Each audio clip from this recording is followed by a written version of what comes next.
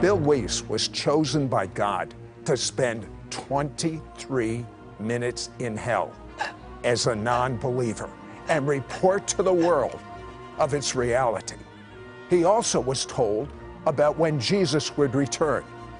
Next on this edition of It's Supernatural. Can ancient secrets of the supernatural be rediscovered? Do angels exist? Is there life after death? Are healing miracles real? Can you get supernatural help from another dimension? Has the future been written in advance? Sid Roth has spent 30 years researching the strange world of the supernatural. Join Sid on this edition of It's Supernatural.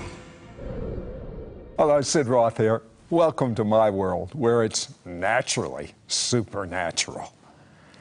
Do you believe in a literal hell? I mean, one where there's suffering and sulfur and torment and demons with pitchforks. Well, a survey was done in America by Barna, and he found that two thirds of the people do not believe in a hell with suffering. And as a matter of fact, it's not a popular subject. When was the last time uh, you went to a house of worship and they spoke about hell? Well, God had to take things into his own hands, and he showed a man that has impeccable character, uh, a man that has never been into drugs or alcohol, that has a good marriage, a solid citizen. I even looked at his references, and the former retired chief of police that he's known for decades gave him a character witness. I mean, if I was in Hollywood and casting someone to see hell and come back and report on it, this is the man I would have picked. We went out on the streets to find out if people believe in a hell where there's suffering and sulfur and demons. You'll be amazed at what we found out. No, I don't believe there's a hell. You know, God loves everybody, so He wants everybody to live with Him up in heaven. Hell, sometimes I think hell is on earth with all the random acts of violence and the wars and the terrorism that goes on. I think hell is here. No, I don't believe there's a hell at all. I think that's something that the church made up to control and manipulate people. Everyone's going to go to heaven because God's a good God who loves us all. As long as we live a good life and are good people, we're all going to get to heaven. Yeah, I believe there's a hell. I believe it's a place where people go if they don't ask God to forgive them of their sins. Hello, Sid Roth here with uh, Bill and Annette Wiese.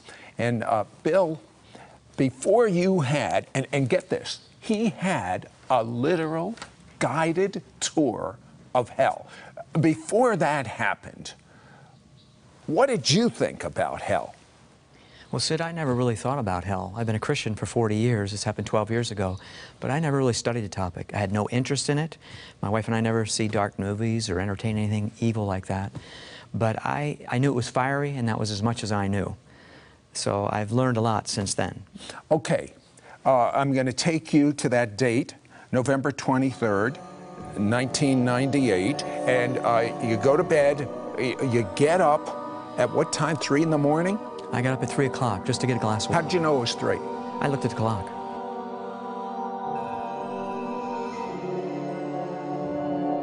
Okay, you get the glass of water. What happened to you? Suddenly, Sid, I found myself, I was being pulled out of my body. Uh, like, this was an out-of-body experience, and I've never had one before. But I was pulled out of my body, and I found myself falling through the air and tumbling down this long tunnel. And I entered into this open cavern area, and I hit the stone floor, and I found myself in a prison cell with rough-hewn stone walls and bars. I was actually in a prison, but it looked like a dungeon, filthy, stinking, smoke-filled uh, prison. Did you realize where you were? I was fully awake and cognizant. I was not dreaming. No, I understand, but, but did you know you were in hell? Yes. The heat was far beyond the ability to sustain life, so I knew immediately I was in hell. and there were demonic creatures in this cell with me.